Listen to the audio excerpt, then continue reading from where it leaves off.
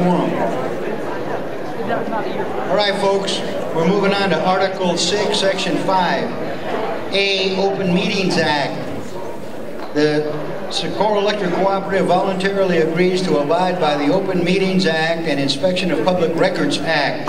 Its member proposed. The SEC would be in violation of the law if approved.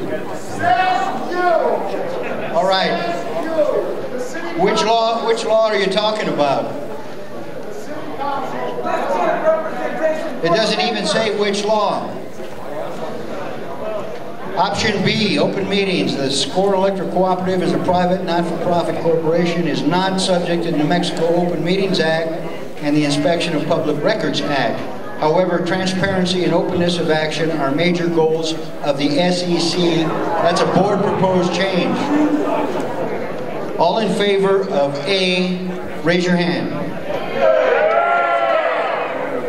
All in favor of B, raise your hand. A has it.